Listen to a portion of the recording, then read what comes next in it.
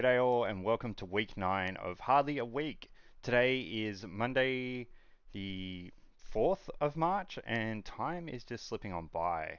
So let's get straight into it and then uh, we can talk about some other stuff at the end. But this first one is from a Korean researcher, Lee Jung Hyung. And this page, uh, from the link, it'll be in Korean when you first look at it, but you can right click and go translate to English and it just talks about how to decrypt malicious files from MS Defender. What they've gone done is written a Python script, and it's demonstrated down the bottom here uh, as they're decrypting it. I am not sure. They probably have linked maybe the Python script so you can use it. I'm sure you can also find one online. I can't see it here. Um, but yeah, it's something that I've had to do before when working cases. It's really interesting to do because normally uh, Defender, when you're trying to collect evidence, especially remotely, will just quarantine stuff. So you need to pull it back and then decrypt it to see what it is. Because some of the descriptions that Windows Defender has is not very helpful. Um, and I think Defender by default, I'm not sure whether it's Defender or another evidence source, but it stores, I think, like a SHA-1 hash somewhere. So you might be able to get around that, but then if you can't like look at it on VirusTotal or it's not anywhere else that hash that's hit, then you do need to pull it and um, decrypt it so that you could pass it to like your reverse engineering team or, or do some triage yourself. Um, so this is a good one. And then moving on, more of a real world scenario. So I guess how cybersecurity supports uh, the tactical warfighting methods that different countries are using. It references another talk here to go look at, which I'm interested to go and have a look. I think maybe, yeah, it's a YouTube video, so that's really good. Um, what's interesting here, so what's targeted government, military, intelligence agencies, and then the second is critical infrastructure. So what a lot of warfighting countries will do is use the cyberspace to support their tactical objectives. So they're trying to do something in the real world, uh, and they're using cyberspace to sometimes achieve that objective. Um, that can be from reducing supplies, like attacking critical infrastructure.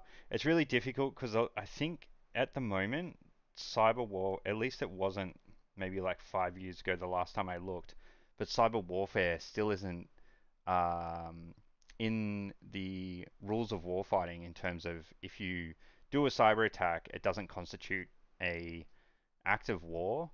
Um, but you'll see a lot of countries, uh, particularly with the Russian-Ukraine conflict, there was a lot of concern around how Russia were going to use cyberspace to then support their warfighting ability, um, even if that was pressuring companies who were linked to Ukraine um, and attacking them.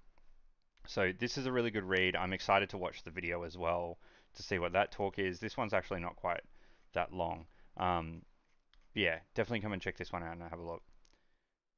Finally, or not finally, second last one, um, demystifying 8Base threat hunting. So the name just kind of like interested me, and then when I clicked on it, what was interesting is it's just another ransomware group. So ransomware as a service. Uh, I've been out of incident response for a while, so it's interesting to see the different ones that are around.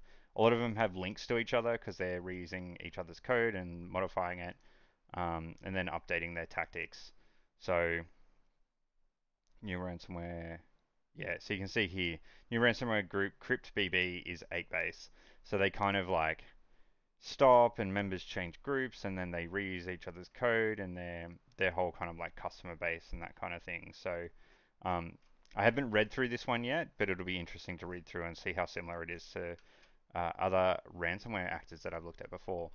The last one is, I guess, not within APAC, which is where I generally try and target things, but if you're not aware, I've spoken about this before last year on some of the other episodes, but DFRWS, which is oh, Digital Forensics Research Workshops, Review Workshops, I forget.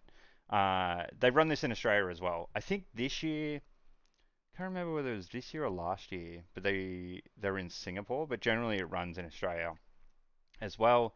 Uh, it brings together, well, it tries to bring together industry and research, and it's heavily focused on on research. So a lot of the talks are from academics. Um, some of the really good talks that I've seen are academics that work in industry as well or engaged with industry to research something in particular.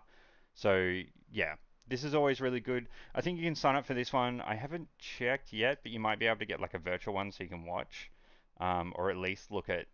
They will post up some of the papers that you can read as well. So uh, if you're interested in kind of the research side of things in cybersecurity, it's definitely hit and miss sometimes. Like some of the research is very outdated to what industry is, but then some of it's really cutting edge, um, particularly if they've been engaged by industry. So that's all I have for this week. Nice and short. Uh, I announced the competition winners last week. Um, there was two of them, so I've been in contact with both of them now, um, and that's been really good. So thank you to everyone who entered and to subscribe to my channel. I've grown quite a lot, so I'm really happy with that. And yeah, I will catch you guys all next week. Um, I've got an episode out now where I spoke to Dave Olsegray. So if you're interested in some long form content, please check that out. Um, and I will be back next week with another Hardly a Week and hopefully some more long form content really soon. So looking forward to continuing doing that. But thanks everyone. Like and subscribe, comment and share. It's always a help and I really appreciate it. Bye.